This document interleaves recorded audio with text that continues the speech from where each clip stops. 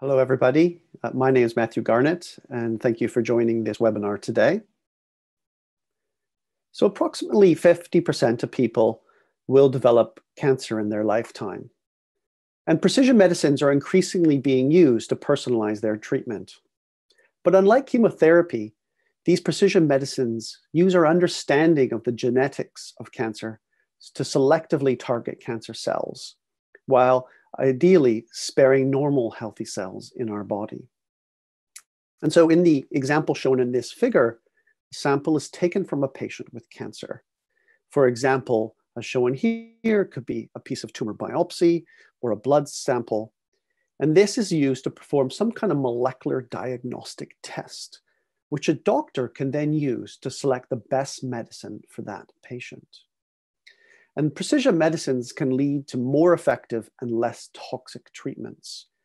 And in the future are a route to treating some of today's most deadly forms of cancer. And we need precision medicines because not all cancers are the same. So cancer is caused by genetic changes in the DNA of cells that cause those cells to divide and grow excessively. Now, these genetic changes actually vary quite a lot by a cancer type, and even within a single cancer, or they're not all the same. So there's many kind of almost like different forms of things like breast and lung cancer. And so today, as shown here, many breast, breast and lung cancers, in fact, can be divided up into different subgroups based on their genetic changes. And this information is then used to select a treatment that's most effective for a particular patient. And despite some really great clinical successes using this type of precision medicine approach, unfortunately, today, most patients don't actually receive this type of precision medicine approach. And in fact, for many cancers, we still lack effective medicines at all. And we know this is all done in the context of a very difficult drug discovery process. So success rates for oncology drug development are less than 10% when you consider drugs going from uh, phase one all the way to clinical launch. And that's just shown here on the left side of your image where you can see those success rates over time. And you can see in many respects, they're not really changing. Just look at the bottom line, which talks about that percentage from phase one to clinical launch. We know that the leading cause of failure is lack of efficacy in phase two clinical trials. But the good news is, is there's increasing evidence that genetically informed targets are more likely to proceed through each phase of drug development.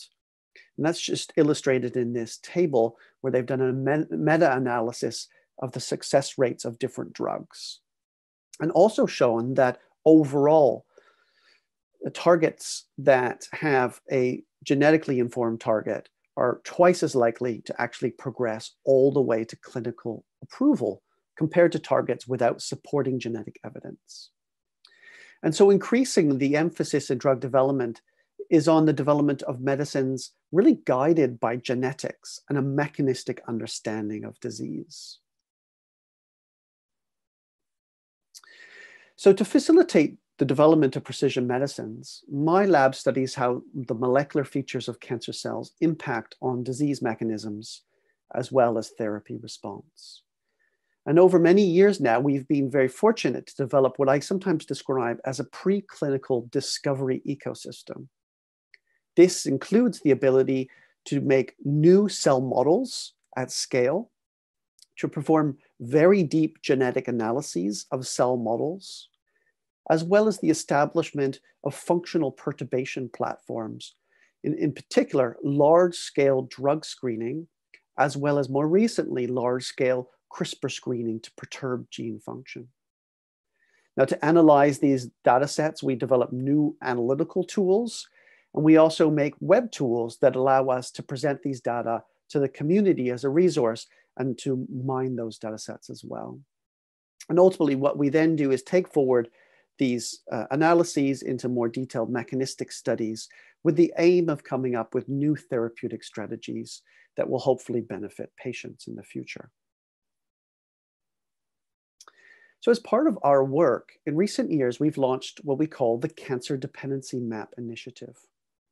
The Cancer Dependency Map aims to use large-scale functional genomics to identify vulnerabilities, what we sometimes call dependencies, in every cancer cell. And we believe this type of map of cancer dependencies and the biomarkers that predict those dependencies could serve to help accelerate the development of precision cancer medicines. This is a very ambitious effort and involves multiple collaborators in the US and Europe, including the Broad Institute, the Human Technopole, and the European Bioinformatics Institute. So to create a cancer dependency map, we're using large panels of cancer cell models for both genetic and functional studies. And this just shows some of our recent data showing we now have aggregated and curated well over 1900 cancer models representing over 43 different cancer types. And I really want to emphasize that we use this large collection of cancer models to have as much possible representation of the different cancer molecular subtypes that occur in patient populations. And we know that these molecular differences can underpin differential therapy response. And so to date, the Sanger Institute and as well, particularly the Broad Institute, have been working together and have generated over data for over 1900 cancer cell lines. And this includes genomic data, epigenetic data, proteomic data, as well as functional data sets. And these are just illustrated in this map here. Now you can see, for example, the coverage of cell lines for each data type is variable as shown in this image. And of course, one goal is to kind of fill in these gaps. And as I'll show in my presentation today, we continue to expand these data sets through the development of new cancer models and their enhanced annotation with new molecular or phenotypic data, as well as the addition of more functional data for each cancer model. So one such effort is what we call Project SCORE, which is using genetic screens to identify cancer dependencies. Now, there are many unexplored potential cancer drug targets that we just don't know about today.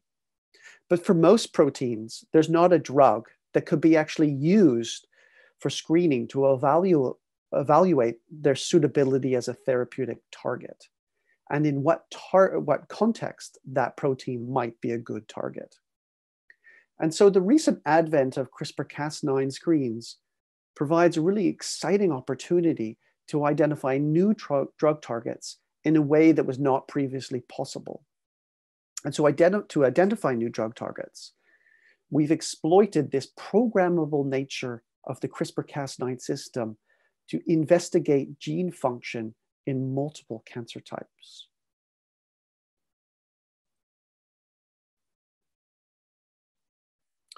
So just to give a little bit of background, CRISPR is sometimes called molecular scissors because it allows scientists to specifically cut DNA eh, and inactivate virtually any gene in cancer cells growing in the laboratory.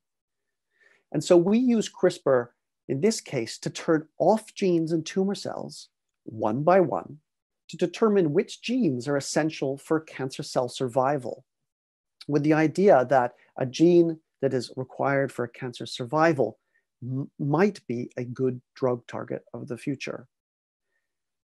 And the power of CRISPR is that we can screen thousands of genes in hundreds of cancers grown in the lab. And so, for example, in the figure shown, an activation of gene B in this particular cancer is selectively required for tumor cell growth, indicating a drug that targets the protein product of gene B may be efficacious in this cancer subtype. And so a kind of useful analogy to think about here is imagine that you didn't know how a bicycle works. You could take that bike apart, removing each part one by one, see what the effect is on how that bicycle works. And this is effectively what we're doing. We're using CRISPR to deconstruct cells to determine which proteins cells need to work, and if blocked, could make a good drug target. So to do this systematically, we've actually now performed large-scale CRISPR screens in hundreds of cell lines from different tissues and identified hundreds of genes required for cancer cell survival. The challenge we then face is we identify these hundreds of genes. We need ways to filter through these lists of genes to find the best drug targets. And so to try and do this, we've developed a computational pipeline which combines this CRISPR gene essentiality information with other orthogonal data sets, including patient clinical data. So for example, is that gene mutated in cancers or differentially expressed? As well as information about things like biomarkers. So for example, can we identify a genetic event in the cancers that confers the dependency on a particular gene? And do we have pathway level information that supports a dependency on a gene? And we combine all these pieces of information to come up with what we call as a priority score for each gene in each cancer type individually and when looking across all cancer types together. And I really want to emphasize the kind of systematic, biased, and genome wide nature of this approach. And the idea here is really allowing us to identify a much wider range of candidate targets, which could be the targets of drugs in the future. And so using this approach, we assessed and ranked thousands of genes as potential therapeutic targets. So in the image shown, each circle in this plot is a candidate target. Now, not all targets are equally druggable. And so we've also assigned each target into groups based on the likelihood of being able to make a drug to target them. So, for example, some of these targets that we have found are actually the targets of existing drugs today. And these are the ones particularly in the group one targets. And of course, it's great that we find these because in many respects, these are the positive controls in our screen, showing that our screening approach and our prioritization approach is working well. But I think more excitingly, we've identified many new targets. And particularly, we think the targets in group two of our particular interest, because these are targets where we have high priority scores suggesting that they would be good targets, but they're also evidence supporting their tractability for drug development. And so these are great starting points to identify the most promising new drug targets, and particularly for cancers that lack effective treatments today. And one exciting target is a protein called Werner or WRN, which is specifically required for the survival of a subset of cancers that are defective in a DNA damage repair process. So Werner helicase is a strong and selective dependency in microsatellite unstable cancers or MSI tumors from ovarian colorectal cancers and also when looking pan cancer. So what you're seeing here in this plot is each circle represents an individual cell line and the fitness effect when you knock out Werner helicase. And what you can see, hopefully, is those tumors that are MSI, when you knock out Werner, it has a more profound effect on the fitness of those cells. So you see a very strong loss of fitness effect. Equally, in cells that are not microsatellite unstable, depletion of Werner seems to have virtually no effect on the cell fitness. And this is a very strong signal in the sense that the fitness effect that you see when you knock out Werner is similar to what would be observed if you knocked out a core human essential gene. So, for example, a component of the ribosome. So, microsatellite instability is caused by defects in mismatch DNA repair process. And in cancer cells, this leads to the accumulation of microsatellite repeats and a very high mutational burden. So mismatch repair is actually mediated by a cascade of proteins which identify mismatches that occur during DNA replication. These are then excised um, by this mismatch repair machinery, and this allows resynthesis and repair of the lesion. And I think critically for this presentation is just to note that microsatellite instability occurs across many different cancer types. And that's just summarized in this table here. And that actually at a very high frequency in a subset of cancers. So for example, in the setting of colon cancer, stomach cancer, and endometrial cancer. It also occurs in other cancer types, but at a much lower frequency than these other cancer types. And so based on our initial discover, discovery of a Werner dependency, we've gone on to further interrogate Werner dependency in the setting of colorectal cancer. And so to do this, we've created the largest set of microsatellite unstable colorectal cancer models ever assembled. And this includes over 62 different cancer models of MSI colorectal cancer.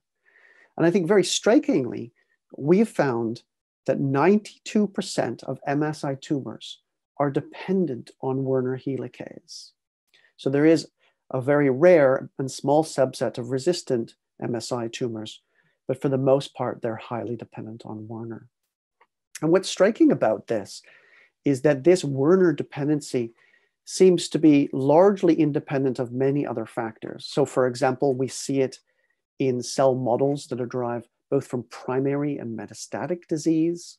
It's independent of the total mutational burden. We see it whether we look for this effect in a 2D cell line, a 3D organoid culture, or a cell line derived from a patient derived xenograft culture. And in addition to that, it appears to be independent of the driver mutations that are present within that tumor. And so collectively, these data really strongly support Werner helicase as a target in MSI cancers. Now, Werner itself is an extremely interesting protein, and it has what's actually quite a poorly understood role in genome stability, including processes like DNA repair, DNA replication, and telomere maintenance. And it's also associated with a human syndrome called Werner syndrome, or also known as progeria. So, this is a rare autosomal recessive disorder that's characterized by premature aging and predisposition to cancer. So, humans or, or people with this syndrome tend to age normally through childhood but as they enter early adulthood, their aging accelerates. And ultimately, this can lead to early death with a median um, age of death for these patients of around 54 years old. Now, what's I think significant for um, when thinking about Werner as a target in the setting of cancer, the finding that germline loss of Werner is actually compatible with viability of a human until adulthood suggests that a targeted therapy against Werner delivered for relatively short periods of times might not be overtly toxic to tissues. Of course, the development of a drug will be required to test that hypothesis. So we've gone on to look in more detail about the mechanism of what's happening when you knock out Werner in cancer cells.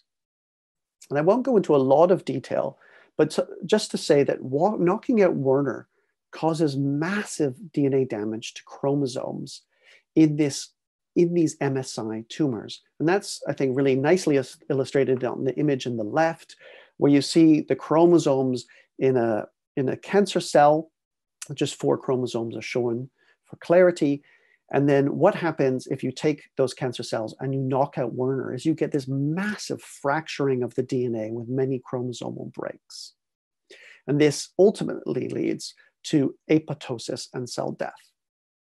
And when actually microsatellite unstable tumors are growing in, in the lab on the back of a mouse in what we call a tumor xenograft, if you take an established tumor and then use genetic tools to knock out Werner, this can actually stop those tumors from growing.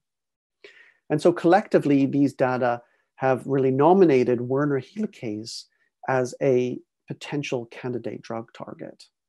Now, today, there are no drugs that target Werner, but based on these studies, as well as now supporting studies in the literature, multiple pharmaceutical companies are developing drugs to target Werner in this subset of cancer patients. So since the publication of the Project SCORE data, we've continued to really expand and uh, refine our analysis. And then just briefly um, touch on some work that actually led by my colleague, uh, Francesca Iorio at the Sanger Institute, who's now based at the Human Technopole in Milan. And this work was actually done in collaboration with the DepMap teams at the Broad Institute. And so we've actually together developed a method to integrate CRISPR-Cas9 screening results generated at the Broad and the Sanger Institutes. And of course, there were batch effects in these data, but we've now been able to correct for that and bring these two data sets together. And this now includes coverage of over 16,000 genes knocked out in almost 800 genetically unique cancer cell lines. And having this larger data set really is empowering and does a number of things. First, we have a larger data set increases the number of cell lines for each cancer type. I think that's nicely illustrated on the left-hand side. It also gives us more statistical power, allowing for the discovery of novel cancer and subtype specific analyses and unveiling additional biomarkers of gene dependencies. And so an example is shown on the right-hand side of your image where we've looked at the dependency on ERBB2 knockout in ERBB2 amplified breast cancer cell lines.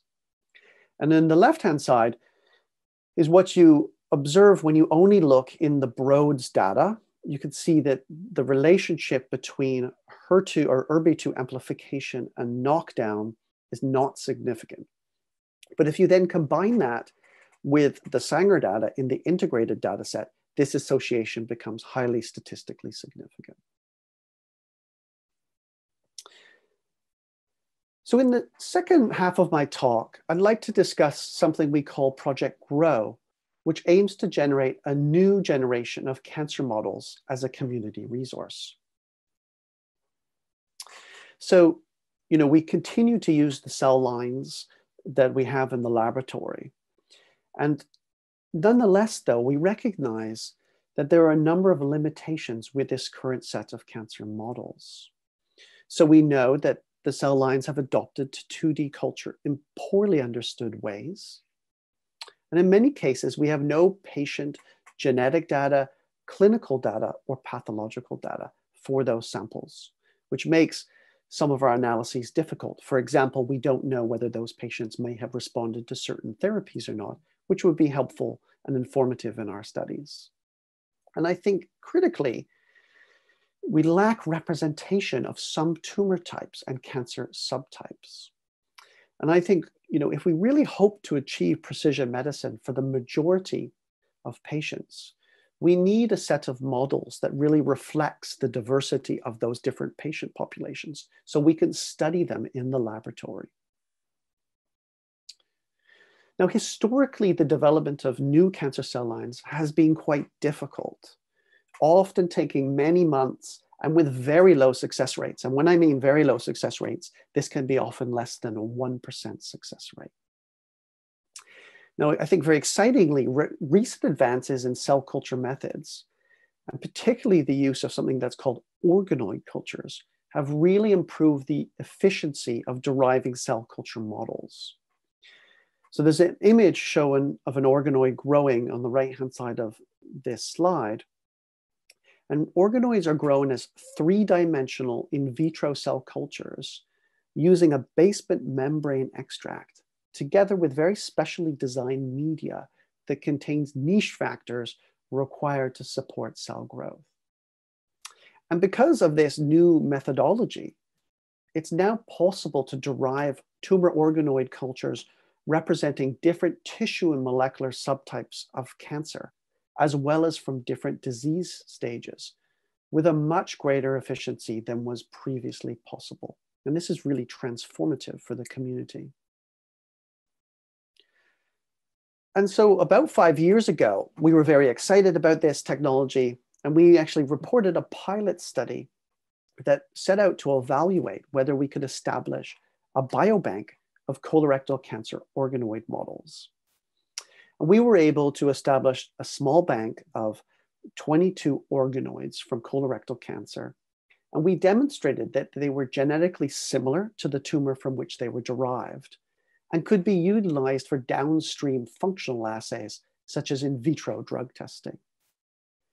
Now, since then, we've now performed very similar studies in the setting of esophageal cancer, pancreatic cancer, and liver cancer. And there's also been multiple other studies from other groups reporting the development of these types of biobanks with very similar results. And so, based on this literature and our own experiences, we've now set out to generate a much larger biobank of tumor organoid cultures with an initial focus in the setting of esophageal cancer, colorectal cancer, and pancreatic cancer. Now, this effort is actually part of a much larger initiative that's called the Human Cancer Model Initiative. And key to this is that all the models that we're generating and the data sets associated with them are being made available as a community resource. So within the UK, to develop organoids, we've established what we call the Cell Model Network UK.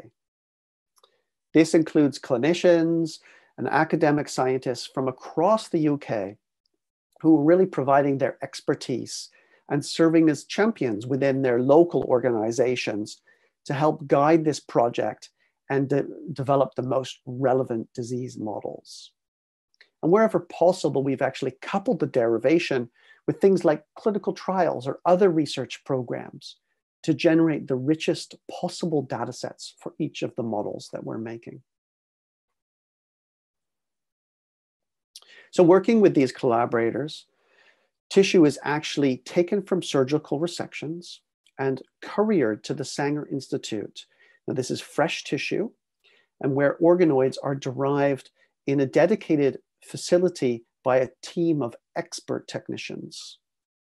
Following very rigorous quality control, the organoids are then banked and sent to the repository ATCC for distribution as a resource for the, for the community. And in addition to that, increasingly these organoids are now entering into our downstream analysis pipelines for genetic analyses, for things like drug testing, and increasingly also for CRISPR screening. So to date, we've processed over 500 um, samples of patient tissue the majority from surgical specimens. And overall, this has led to the successful banking of 145 organoid cultures from colon, pancreas, and esophageal cancers. And already, this is really having a big impact. So, for example, for esophageal cancers, in the past, there were very few good models where you could really study this disease. And we now made this unique set that has massively expanded the number of esophageal cancer models that are available for the community. Um, similarly, in the setting of colorectal cancer, in the past, we had about 50 cancer cell lines that we would use to study colorectal cancer as a community. But now we have over 80 new models. And so this is really increasing the representation of the different subtypes of cancer, of colorectal cancer that we know are important clinically and again, having this larger sample size gives us more statistical power for some of our functional studies. Now, I should say this is hard work to make these models. It typically takes over 100 days to go from a piece of tissue to a set of banked cryovials. And we have an overall success rate of about 30%. So about 30% of the pieces of tissue that we accept are then ultimately lead to the successful banking of a living model system that we can use for future studies. And the number one cause of, um, the major causes of failure are really just failure to propagate in the culture system and low tumor cell number in the sample that we actually receive from the clinical sites. So beyond building the resource of this next generation of cancer models, of course, we really want to begin to use these for some of the systematic perturbation studies similar to what we perform in our cell line collection. And so in addition to things like drug screening, we're also now able to have really robust protocols to perform genome-wide CRISPR knockout screens in these 3D organoid um, cultures, and using a, effectively a pipeline that was established for Project SCORE. And just to give you a sense of these data sets, we're able to detect, for example, known human essential genes, which is a really critical quality control metric for these screens with a kind of similar efficiency as we can when we screen a cancer cell line. So that's just shown on the left-hand side of the image. This is our ability to recover known human essential genes in four different organoids that have been screened with a genome-wide library and the comparison of what, um, how well we can do that within cancer cell lines. And so at the moment, these screens seem to be very similar in quality to what we can achieve with a cell line. And of course, we can then look for specific dependencies in these models. So that's shown on the right-hand side of the image. These are all the fitness effects of knocking out thousands of genes in this particular colorectal cancer organoid. And just notably, for example, this is a KRAS mutant colorectal cancer organoid. And indeed, KRAS is one of the top gene dependencies within this model. And so this, again, this is just a really kind of proof of concept that these screens work efficiently in the setting of the organoid model system. But because organoids are grown in 3D culture, this actually does make them more challenging to work with. Them. And so we've been trying to develop new methodologies and reagents to improve our ability to really work efficiently with these organoid cultures. And so one of the ways we've done that is to really optimize our CRISPR screening libraries, and in particular, making smaller genome-wide libraries that use two optimized guide RNAs as compared to the five guide RNAs that we used in the original Project SCORE CRISPR library. And so what we actually did is we mined the Project SCORE data from screening hundreds of cell lines to identify the two best guides per gene. And we can then make a new library that's 60% smaller than the original library and 42% smaller than all other genome-wide CRISPR libraries.